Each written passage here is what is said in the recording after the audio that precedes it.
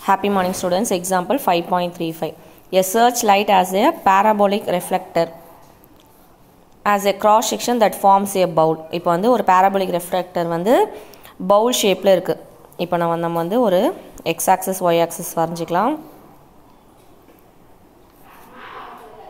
இப்போ வந்து ஒரு பவுல் வந்து நம்ம ஓப்பன் ரைட் சைடு வரா மாதிரி நம்ம ட்ரா பண்ணிக்கிறோம் நம்மளே கன்சிடர் பண்ணிக்கிறோம் அப்புறம் என்ன கொடுத்துருக்காங்க பாருங்கள் the parabolic bowl is forty centimetre wide அப்போ இதோட லென்த் ஃபுல் லென்த் வந்து ஃபார்ட்டி சென்டிமீட்டர் அப்போ இந்த பாயிண்ட் டுவெண்ட்டி இதோட வேல்யூ டுவெண்ட்டி வரும். ஃப்ரம் ரிம் டு ரிம் அதை ஃபுல்லாக அண்டு தேர்ட்டி சென்டிமீட்டர் டீப் இப்போ இதோட வேல்யூ வந்து தேர்ட்டி அப்போ இதோட பாயிண்ட் நமக்கு என்ன வரும் பாருங்கள் தேர்ட்டி கம்மா டுவெண்ட்டி இதோட பாயிண்ட் வந்து ம தேர்ட்டி கமா மைனஸ் டுவெண்ட்டின்னு வரும். The bulb is located at the focus bulb வந்து எங்கே லொக்கேட் பண்ணியிருக்காங்கன்னா ஃபோக்கஸ் சம் பாயிண்ட் இப்போ இதை வந்து நம்ம ஃபோக்கஸ்னு எடுத்துக்கலாம்.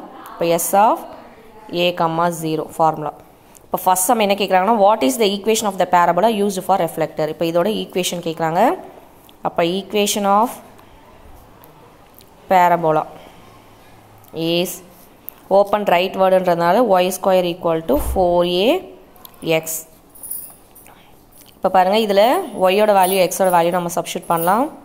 ஏதாவது ஒரு பாயிண்ட் சப்ஷூட் பண்ணலாம். அப்போ தேர்ட்டி கமா டுவெண்ட்டி இப்போ இது எக்ஸ் இது ஒய் சப்ஷூட் பண்ணோன்னா twenty square equal to four a into எக்ஸோட வேல்யூ தேர்ட்டி இப்போ இதை ஸ்கொயர் பண்ணிங்கன்னா ஃபோர் ஹண்ட்ரட் தேர்ட்டி டிவைடில் கொண்டுட்டு வந்துடலாம்.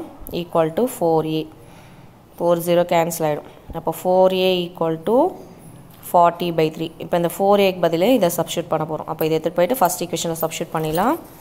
இப்போ first equation gives y square equal to four a x y square equal to four ஏவோட வேல்யூ ஃபார்ட்டி பை த்ரீன்னு கண்டுபிடிச்சிருக்கோம்.